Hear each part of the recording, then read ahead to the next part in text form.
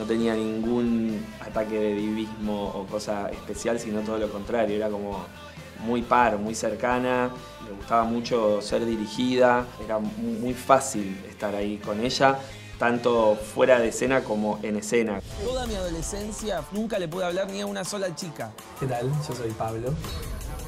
¿Por qué me guiñas un ojo? No, yo soy Ramón. Les doy la bienvenida a todo el elenco, a los protagonistas de Porno y Helado. Estuve viendo esos ocho episodios y como que ya me hice muy amiga de Pablo, de Ceci y de Ramón. Los primeros tres o cuatro episodios se va armando la relación de amistad entre sus tres personajes. ¿En la vida real también fue así o ya se conocían?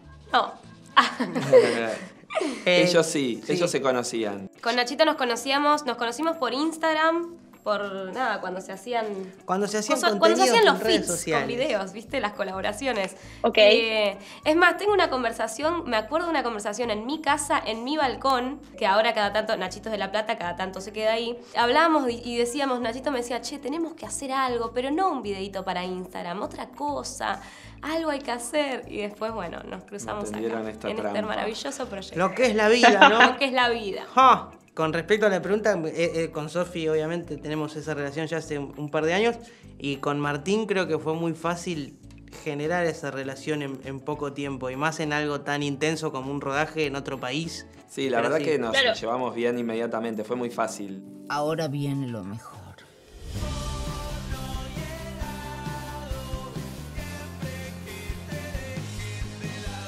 Yo no los vi todos, todos. Eh, pero me vi así varios de un tirón porque sí, es como esa cosa adictiva que tiene la serie y que también tienen las series cortas, ¿no? Que me parece que eso está bueno. Terminas uno y te puedes poner el otro y el otro y de repente te diste cuatro en dos horas. Yo los vi hace muy poco, también me los vi de un tirón una noche, me quedé, me los vi todos. Y me reí mucho. Yo también entré en el capítulo 4, entonces había cosas que no había visto. Eh, y me reí pero risa, o sea, risa tentado, así que me parece espectacular. Eh, siento que la gente se va a divertir muchísimo, la verdad. Traje esto. ¿Sos músico ahora? No, voy a decir que soy músico. Está vacío. Y Martín, vos justamente hablas de que sos el director y me pasa que son ocho episodios que estoy hablando con amigos también que ya pudieron verlo, que son muy adictivos. Y quiero que me cuentes para vos cuál es la fórmula de una serie adictiva o hacer que un episodio te dé ganas de seguir con el otro y seguir con el otro. Ay, me encantó eso. No lo sé. Qué bueno que me estás diciendo que son adictivos. Era, era lo que buscábamos. La verdad es que no, no sé qué fórmulas hay. Nosotros lo que quisimos hacer fue eh, hacer una serie honesta, con todos los delirios que nos gustan. Tiene todo tipo de humor, no es que tiene un tono tan específico, sino que puede pasar cualquier cosa todo el tiempo y hay chistes para, para, para todos, ¿viste? Chistes más simples, chistes más complejos, eh, chistes más tontos. Y a mí lo que más me, importa en general es generar universos cerrados con sus propias leyes y sus personajes, ¿no?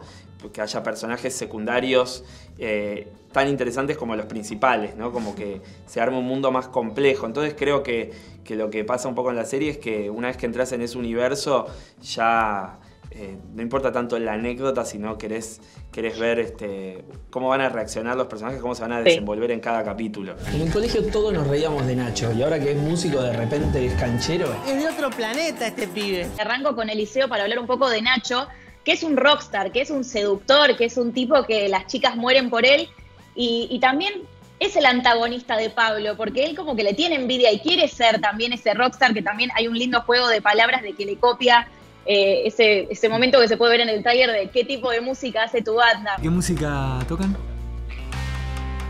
No sé qué decir. Sí, total, me pasa lo mismo. ¿Vos cómo lo sentiste esa relación de, Nacho con Pablo? Sí, es tal cual lo que decís. Creo que un poco el personaje de Pablo busca imitar a, a este referente que él tiene, que en realidad es como un referente medio por accidente, ¿no? Es como que salen por primera vez a la noche eh, con Ramón y se encuentra este amigo de la secundaria y es como, ¿qué pasó con este pibe que ahora es canchero? Vamos a seguirlo, digamos. Pero sí, es tal cual, es eso, es como tomarlo como referente y querer imitar un poco su vida, ¿no? Y convertirse así como, en, un, rockstar o en lo que él cree que es. Y después lo tenemos a segundo o a second, que es una... Me encantan los looks que tenés, eso te lo tengo que decir. Hay unas camisas, hay unos peinados, hay unas cosas espectaculares que, me encanta cómo está pensado tu personaje, Santi. Pero también tenés una relación muy de, compinche con el personaje de Sofi Morandi. Me parece que hay una- un lindo ida y vuelta hasta cuando se conocen en esa fiesta con Ceci, ¿no? Sí, sí, sí. Yo creo que, que segundo, bueno, sí, es muy excéntrico, tiene Mm. también como, como su locura, ¿no? Y me parece que igual él está obsesionado con su carrera y con llegar como muy alto dentro de, de- de- de- la política, ¿no? Y de, ser la mano derecha de, de Vieira. Y dentro de eso también es como que se obsesiona mucho también con, con esta banda y para que, bueno, para, para que toquen y eso después lo van a ver, no quiero spoilear nada. Pero sí, tiene como un grado de, de locura importante también el personaje segundo que, que van a ver que, que va a pasar también cositas más tirando al final. Conseguí su primera fecha. ¿Cómo? Bienvenidos al mundo de la música. No, so- no somos músicos, o sea. Bueno, ¿quién es músico hoy en día? Ojo, no está mal lo que dice. Vamos a tener una banda y vamos a ser famosos. Yo no quiero ser famoso. Sí que querés. Otra de las cosas que me gustó mucho, que los tres protagonistas tienen mucho que ver, es el bar de los taxistas. Soy una consumidora nata de sitcom y pienso en Friends con el Central Park, How I Met Your Mother, digo, todos tienen su cafetería de referencia, su bar de referencia, y siento que Porno y Helado tiene este bar de los taxistas como referencia donde pasan un montón de cosas, ¿o no? Sí, absolutamente. Yo eh, soy de ir, de ir mucho a bares. Es algo que a mí me gusta mucho y me sirve mucho a veces incluso ir a escribir a bares y sobre todo bares de viejes. Eh, tengo, tengo mis favoritos en Buenos Aires. Mi favorito de hecho es el Varela Varelita. Eh, Decime el top 3, decime el top 3 de los recomendados. Arela bueno, Varelita es el que le baja la. Eh, eh, La es el que me banca, sí, que me viene bancando hace años la- las escrituras, porque siempre estoy ahí. Eh, no sé, después había otro que iba en otra época llamaba la que se llama La Orquídea, que está en Almagro, en la época que vivía por ahí. Después iba uno que se llama Bar San Miguel, que es otro estilo, pero que también era, era un lugar en, en el que pasé muchísimas tardes, que, que me decían que era mi despacho, porque la gente que me- se iba a reunir conmigo venía al Bar San Miguel. No sé, y ahora voy mucho a Oli, que es un bar nuevo, pero es un bar moderno, no es un, un bar de viejes. Así que no, no sé, es como Eso una... es gerontofobia. Es, eh, no sé, es algo que a mí me gusta mucho, la, la idea del bar, y me parecía gracioso que estos personajes que son tan, como estos parias, encuentren como su central perk sea un bar de taxistas totalmente venido a menos y hasta incluso medio peligroso. Eso me parecía como algo divertido para armar este universo. Sí, a mí me parece que es un lugar de pertenencia, ¿viste? Como donde. y de encuentro. Como que cada uno encuentra en ese lugar un espacio donde estar y, y donde encontrarse con, con otros. A mí me parece que funciona bárbaro ese lugar, y porque aparte tiene la posibilidad de ser multifacético, ¿viste? Hasta, hasta por momentos eh, hay gente viviendo dentro del bar. Eh, y tiene lugares secretos y qué sé yo, es como. Y va mutando aparte. Sí, o sea, como claro. que el lugar o sea, se va transformando en mil cosas dentro de la temporada, como que se va adaptando a todo lo que va pasando con la trama. No sé si es buscado, pero queda como una especie de parodia a, a esas sitcoms, que por ahí no es fácil parodiar algo que ya es gracioso, pero Sí. queda como una especie de parodia de, de- de- Ellos tienen su lugar ahí, que es un lugar Que es muy rancio. muy, muy nada que ver a ellos tres y que funciona perfecto y que, que se dan muchas cosas ahí. Porque además va mutando, que pasa de un bar a una cafetería, a vivir gente, a tener un pasadizo secreto, ¿o no? Sí, sí. Es que a mí lo que me gusta de la serie es un poco eso. Es como un mundo en el cual todo está permitido. Entonces eso me parece maravilloso y es algo que no sueles encontrar mucho. Yo recién como que estoy, si bien me encanta, siempre me gustó ver comedia, en cuanto a humor absurdo y todo este estilo de humor que por ejemplo Nacho es fanático, me estoy metiendo recién ahora y me fascina y siento que no hay algo, cosas argentinas tan así. Obviamente Martín suele tener ese humor cuando escribe y me encanta, pero que esté ahora en una plataforma como Amazon, Prime Video es como, está, está buenísimo porque siento que un montón de gente lo va, lo va a consumir como algo bueno y es nuevo. Entonces está, está muy piola. Para mí se se van a reír mucho. La risa justamente para mí es lo que, lo que caracteriza la, la serie. Ese, ese humor como distinto. Que tiene Martín, por supuesto, en la cabeza de Martín. Que es un humor muy particular que siento que, que va a gustar muchísimo. Vamos a buscar tutoriales y vamos a aprender a tocar. ¿Cómo hacían los músicos para componer? Yo no estoy teniendo alucinaciones. Yo tampoco. Hay dos escenas que me gustaron mucho. Una es eh, el, el momento en que empiezan a hacer el casting para buscar más integrantes de la banda. Y después la fiesta de 15. La filmación del videoclip me parece espectacular. Eh, Martín, todo, tu, tu idea, toda la creación, los vestuarios, el maquillaje. Me parece que hay un trabajo de vestuario muy lindo. Sofi, tenés unos lucazos impresionantes en toda la serie. Hermosa. Vanessa Krongol, Vanessa vestuarista, Krongol, sí. muy, muy copadas.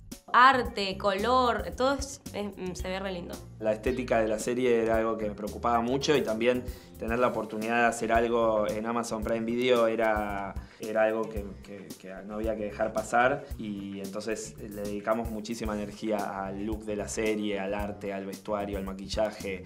Ah, Bueno, a mí es algo que me importa mucho. Al venir de la actuación, eh, cuando me volqué a la dirección, lo que me preocupo mucho más por la imagen que incluso por la dirección de actores porque vengo de, de- de- de la actuación. Ramón, Ramón. Quiero hablar con, Nacho, me parece que es con quien tiene más escenas, pero también con todo el equipo de cómo fue esa llegada de la gran diva de la televisión, de Susana Jiménez, cómo fue el primer día de rodaje que llega, cómo la conocieron.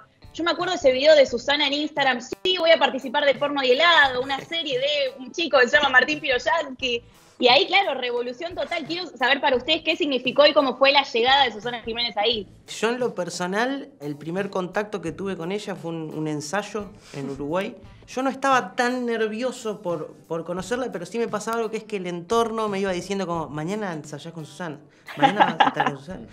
Y me fui poniendo nervioso. Eh, hasta el momento en que la conocí y charlé con ella dos palabras y ya me sentí cómodo. Es una persona que, que te hace sentir cómodo muy rápido. La verdad, una tipaza que, que fue muy fácil ensayar escenas. Por ahí en, en los recesos me decían, Nachito, vení, vamos a ensayar esta escena. vamos a-". Y yo era como, no puedo creer que Susana me está llamando como un par para ensayar una escena y mi mamá llamaba todos los días, mandaba cartas todos los días al programa.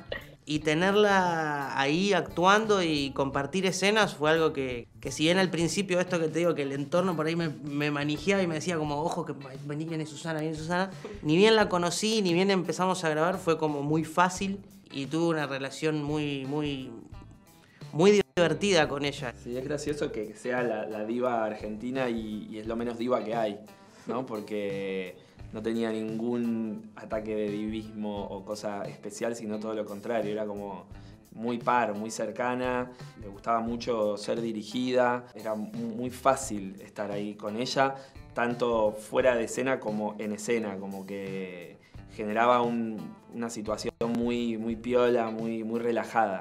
Yo eh, grabé, sí, bastante, me tocó con Susana. De hecho, estuvimos grabando ahí en, en la casa de Vieira. Y qué decirte, entra Susana y es una diva. La primera vez que yo grabé con ella fue en, en una fiesta que se hizo. Y sí, tiene esa, tiene esa energía de diva espectacular que, aparte, divina ella, me pareció divina, muy humilde, divertida. Estuvo bueno, estuvo bueno grabar con, con su, con su amiga. Con la con la su. Mirta. Me encanta. Y ella estuvo siempre muy abierta. ¿Cómo fue la negociación, la negociación o el llamado de Susana Jiménez y contarle este personaje de Roxana con estos gustos tan particulares, ¿no? Con estas adicciones de, de cosas Sí, tan estos particulares. fetiches, este fetiche extremo Claro. que tiene. Bueno, eso me llamó la atención, que es un personaje re subido de tono y ella en ningún momento tuvo ningún problema con ninguno de todos esos chistes. No, de hecho redobló la apuesta. No, no, había de- puesto sí, siempre. lo daba todo. Si era por ella, se iba más a la mierda. El approach a Susana no fue escrito para Susana. Yo nunca me imaginé que Susana iba a estar en la serie. Pero fue una idea de, Amazon Prime Video que se le ocurrió convocarla y le ofreció distintos personajes de la serie y Susana leyó los guiones y eligió ella ese personaje porque es lo opuesto a lo que la hemos visto hacer. ¿no? Como que ella siempre hizo personajes más naif, más, más bebotas, otro tipo de, de- comedia y acá eligió al personaje de una mujer como poderosa, seria, maquiavélica, manipuladora, que es totalmente lo opuesto a, a la imagen que uno tiene de Susana y a ella le gustaba la idea de participar y que fuera un desafío para ella. En una palabra, en una frase, ¿con qué se va a encontrar la gente cuando le dé play al primer episodio y al resto de la temporada? Delirio. Sí, desopilante, diría yo. Siempre que haces algo así, todo termina mal. Ya tenemos que terminar, me quedaría todo el día hablando, sé que tienen un montón de, de entrevistas más por hacer, así que Mil gracias. Gracias. Porno. Helado.